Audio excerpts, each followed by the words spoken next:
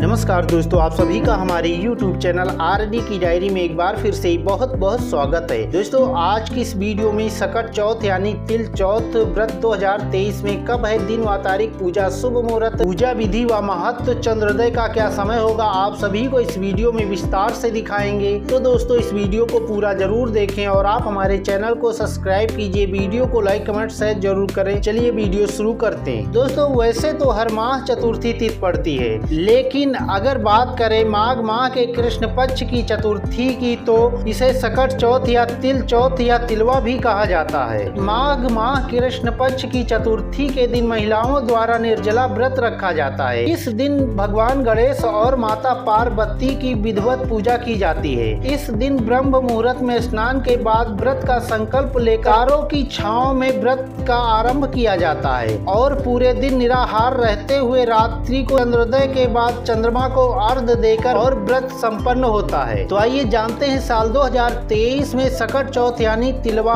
कब है दिन व तारीख पूजा शुभ मुहूर्त? साल 2023 में सकट चौथ यानी तिलवा का व्रत 10 जनवरी दिन मंगलवार को है। चतुर्थी तिथि शुरू होगी 10 जनवरी दोपहर बारह बजकर नौ मिनट पर और चतुर्थी तिथि समाप्त तो होगी 11 जनवरी दोपहर दो बजकर इकतीस मिनट पर। चौथ पर चंद्रोदय का समय होगा 10 जनवरी रात्रि नौ बजकर चार मिनट पर।